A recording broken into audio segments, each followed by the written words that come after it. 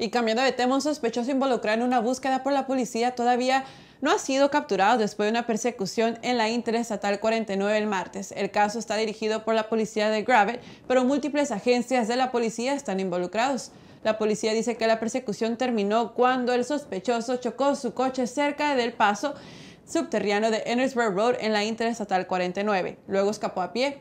El, sospechoso fue visto por última vez llevando un pantalón oscuro, camisa, camuflaje y tatuajes en el brazo.